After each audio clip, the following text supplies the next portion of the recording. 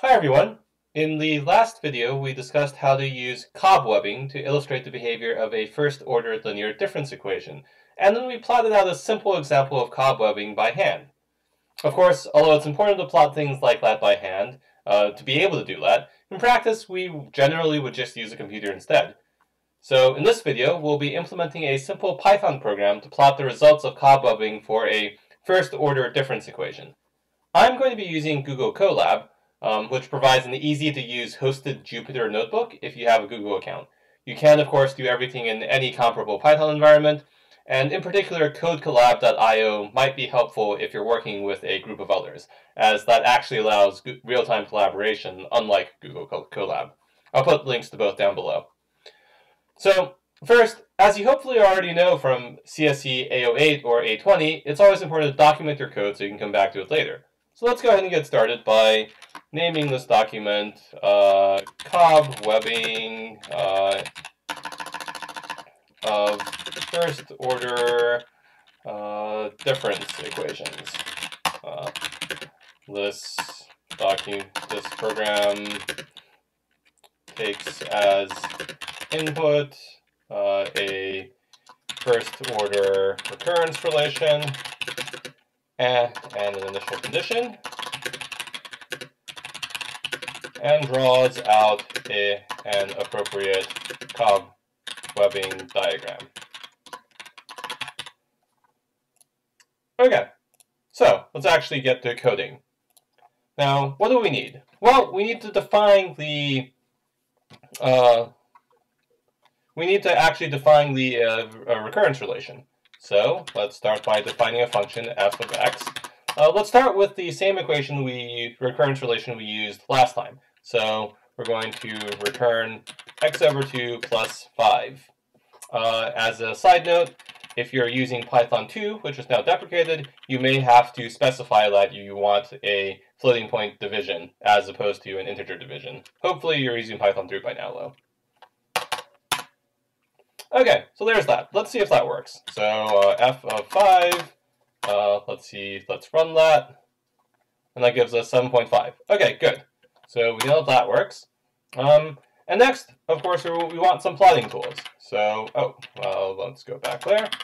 Um, let's import matplotlib pyplot as plt, which is pretty standard. And let's go ahead and import numpy as np, as I tend to use numpy uh, commands quite often. So let's start by just uh, generating a figure. So let's use subplot so we actually get the axis handles. Okay, so now we have a, um, oh sorry, I'm blocking that, aren't I? Let me, ah, there. Okay, so I should no longer be blocking anything. Yeah, so we have uh, something that goes from 0 to 1 uh, as our, those are default axes. Uh, let's set them to be something slightly different just so that uh, we can see a little bit more. Let's set them to 0 to 10, like we did for um, the one we drew out by hand. Okay, so there's that. Uh, we should probably, I'm not going to, uh, we should probably label the axes any, uh, as well. So let's set our uh, x label as uh, x-axis and our y label as y-axis.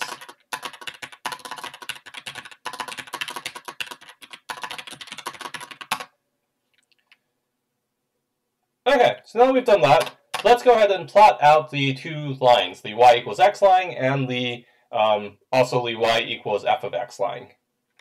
So for that, I'm going to go ahead and cheat a little bit and do this. So for those who aren't aware, numpy.arange uh, is super nice because it just gives you a list of coordinates from 0 to whatever. And so I'm going to just plot arange by arange of 20. So so the first argument here is the x-coordinates, so numpy.arange 20, and our y-coordinates, numpy.arange 20. Okay, so that's our y equals x line. Uh, it's a little bit irritating that things aren't centered properly, but uh, we can fix that later if we want. Or that things aren't square, but we can fix that later. Okay, and let's go ahead and also plot our uh, y equals f of x line. So we need to have some y coordinates, and I'm going to go ahead and just specify a set of coordinates, uh, 0 to 20. Not all of these are going to be on the chart itself. It doesn't really matter. We're overplotting since we already specified our axes limits. And uh, let's see. So we want to apply f of x for every x in this range. Uh, 20.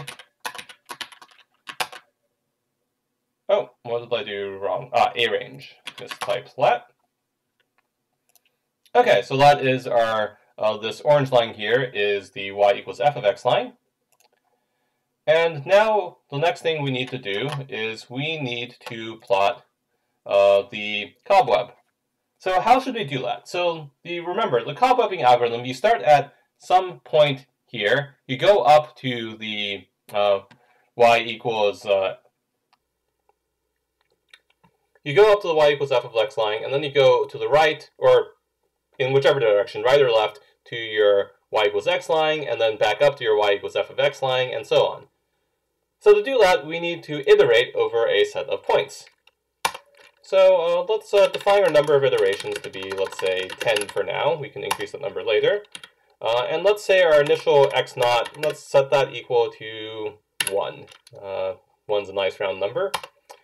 And uh, let's say that we start with an empty list of coordinates. So a point list is going to be the empty list.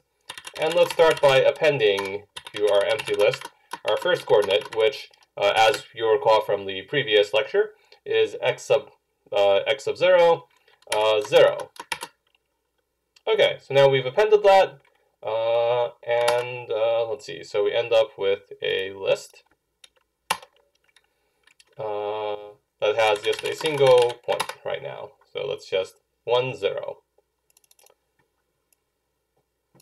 Okay, now all we need to do is use a simple for loop, and that'll allow us to uh, repeat the process of uh, cobwebbing that we described. So for i, for one, for i in range num iterations, let's do uh, xy is going to be equal to the last point in our list. So we're going to start from our previous point.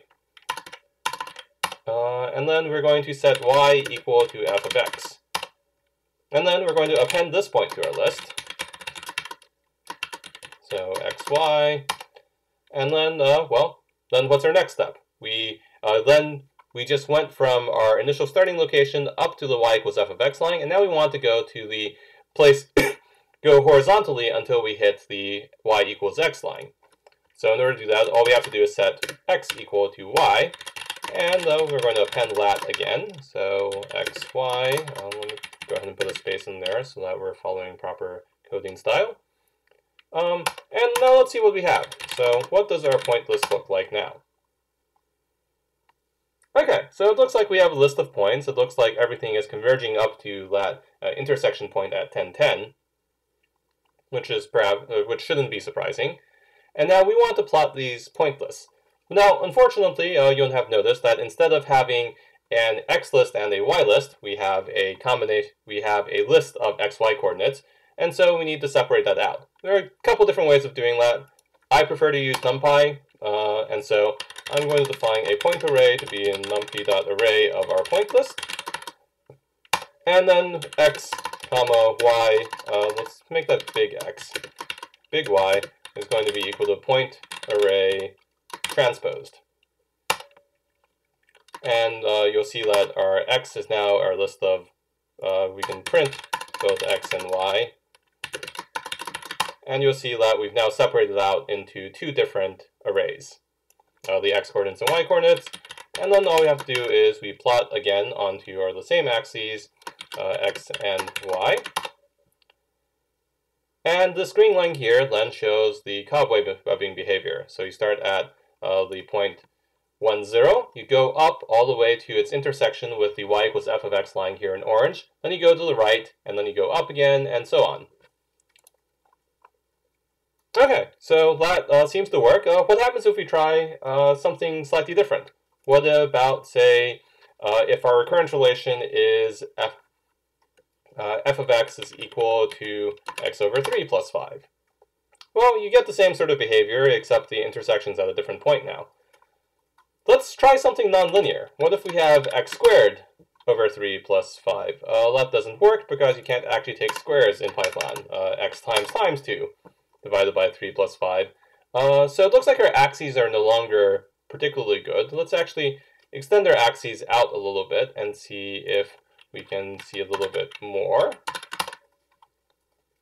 Uh, and you'll notice that we seem to be diverging, which is a little bit unfortunate, but uh, shouldn't be too surprising since uh, we have a parabola that doesn't intersect at a nice location. Let's actually divide this by, uh, let's actually subtract this by 10 and see if this gives us a slightly nicer graph. Uh, no, that actually completely makes it fail. So we clearly are going in the wrong direction. Uh, let's say 3. Where does that go? Nope. Plus 3. Ah, okay, so this one looks a little bit nicer. Uh, and you get the same sort of cobwebbing, and obviously this particular uh, parabola doesn't intersect too nicely as things diverge. Um, let's actually try negative x squared. Oh, uh, that's actually quite interesting. I'm not sure what's going on there. Let's zoom in a little bit and see what went on.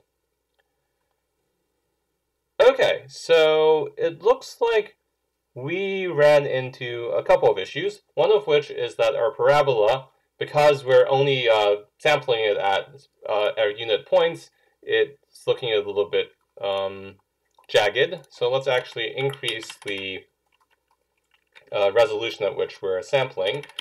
So let's say numpy arange 100 divided by 10 uh, for that sampling. And let's go ahead and sample the other one a little bit more carefully as well. Okay, so now our parabola is smooth again, and it looks like, uh, let's actually decrease the number of iterations so we can see what's going on in the first couple of iterations. Okay, so you'll see this is doing something much, uh, this is doing quite interesting behavior. It's starting here at the one point, it goes up to the orange curve, goes to the right uh, to the uh, y equals x line, goes back down, and it goes in this sort of spiral uh, pattern.